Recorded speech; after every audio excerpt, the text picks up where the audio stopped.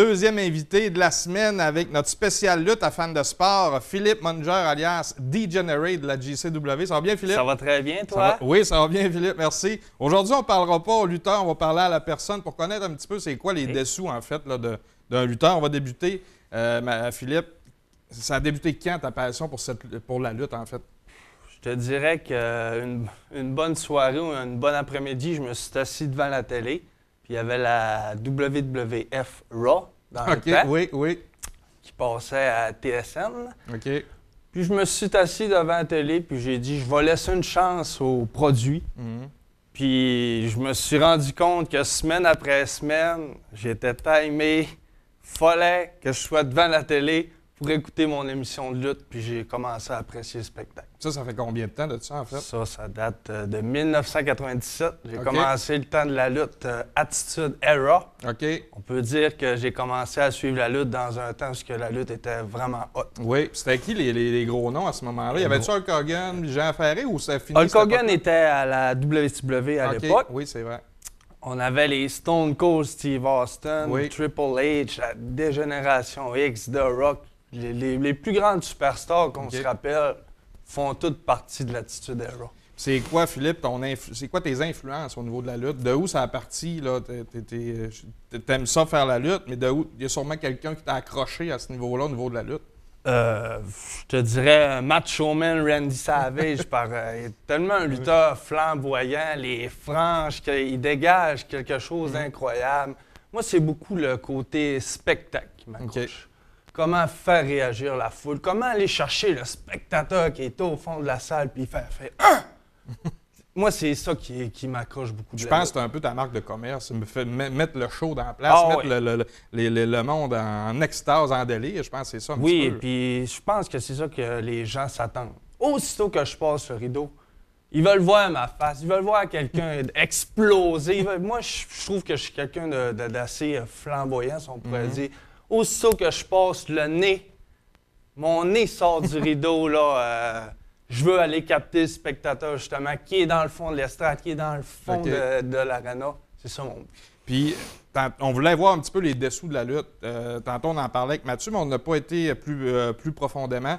C'est quoi euh, le type d'entraînement que ça prend? Ça prend-tu beaucoup de sacrifices pour faire, euh, pour faire un lutteur? Des fois, on en voit, à- honnêtement, à 400 livres. Des fois, on en voit des gars chez épée. C'est quoi le, le- le type d'entraînement? Es-tu pareil pour tout le monde?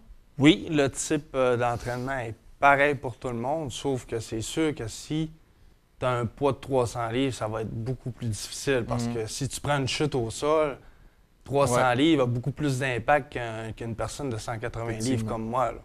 Fait que c'est pas évident.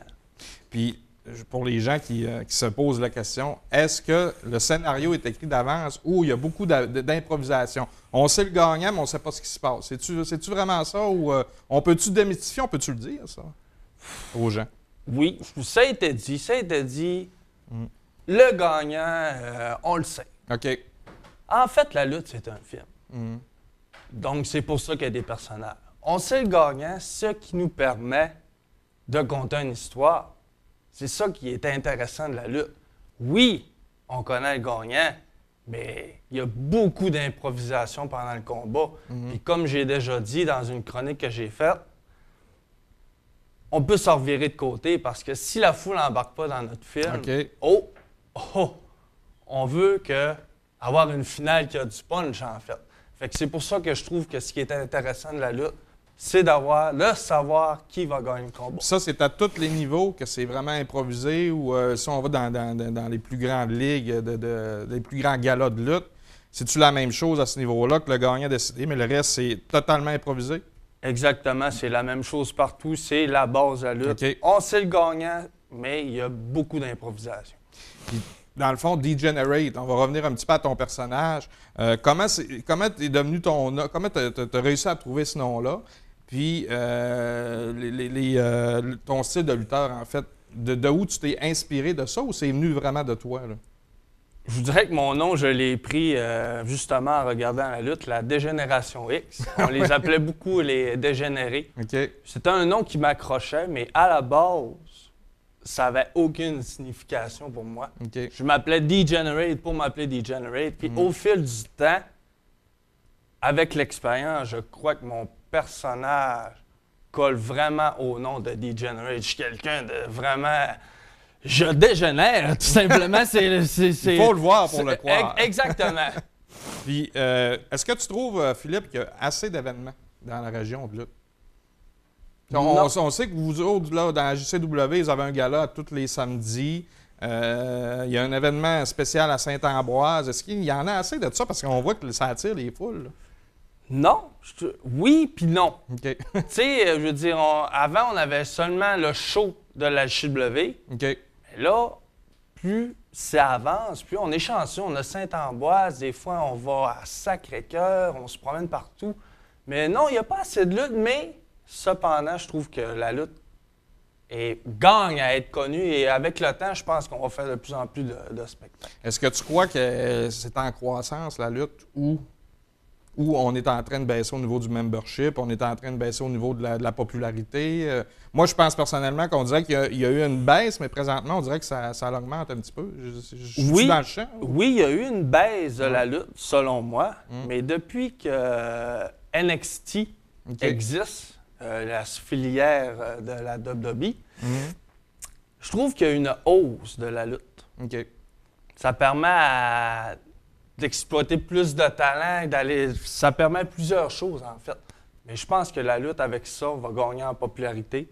Puis avec euh, nous autres, on a, fait, on a fait affaire avec ma TV. Oui. Ça nous a beaucoup aidé. Au début, ça n'a pas eu vraiment d'impact, mais au fil du mois, on s'est rendu compte que ça nous a amené beaucoup plus de personnes dans, dans C'est le c'est une, c'est une des émissions. Je, je connais quelqu'un qui travaille à, ce- ce- à ce- cette antenne-là, en fait, puis il me disait que c'était une des émissions les plus regardées quand même depuis quelques temps. là. C'est quand Oui, c'est vrai. Puis si tu, tu voudrais donner, euh, tu, fais des, euh, des, euh, des cours à des jeunes, je sais pas si tu donnes des cours à des jeunes, si tu, il y a des jeunes qui voudraient se, se débuter dans la lutte ou, euh, ou commencer à un jeune âge, tu leur donnerais quoi comme conseil? Je leur donnerais quoi comme conseil? pour débuter? Si un jeune de 12-13 ans veut commencer, dis-moi, moi plus tard, je veux faire de la lutte, je veux faire comme eux autres. Euh, avant de se rendre peut-être là, à l'âge légal, euh, il pourrait faire quoi en fait? Je pense que le plus grand secret que j'aurais à lui dire, c'est de se mettre en forme le plus possible. Moi, j'ai tout le temps dit, un lutteur en forme est 50% meilleur en partant. Donc, il va être plus ca- capable de, de- de prendre les coups, être capable de prendre les chutes, se relever.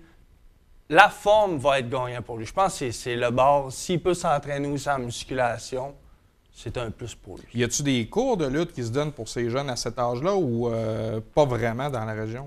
Non, il faut que tu aies 16 ans. OK. puis, euh, c'est à partir de moment-là que tu peux devenir lutteur. Donc, on conseille peut-être à jeune âge de se mettre en forme, aller voir des combats, s'inspirer Exactement. de certains lutteurs. Oui.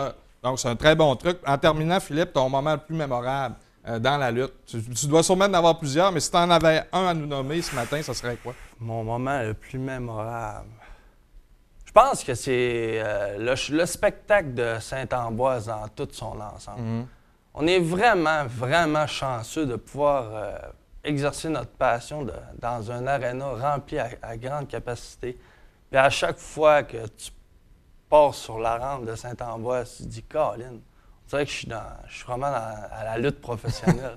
C'est, Je pense que Saint-Ambroise, c'est mon- mes plus beaux moments de lutte. Ben, c'est très gentil, Philippe. Très Ben, merci. intéressant. On te garde avec nous. On va se retrouver Parfait. tantôt pour la, la discussion de la semaine. Nous, tout de suite après la pause, c'est le débat et la question de la semaine.